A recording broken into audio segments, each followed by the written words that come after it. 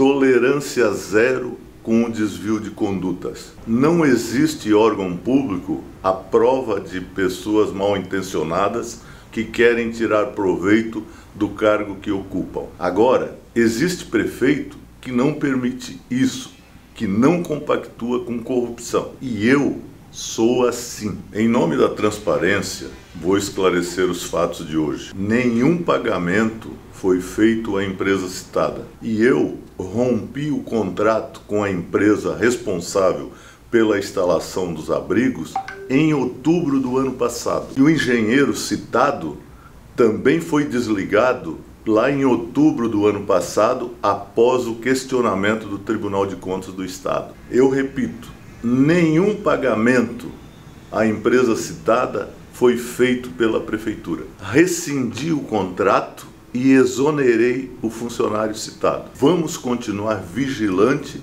para que em São José isto não aconteça.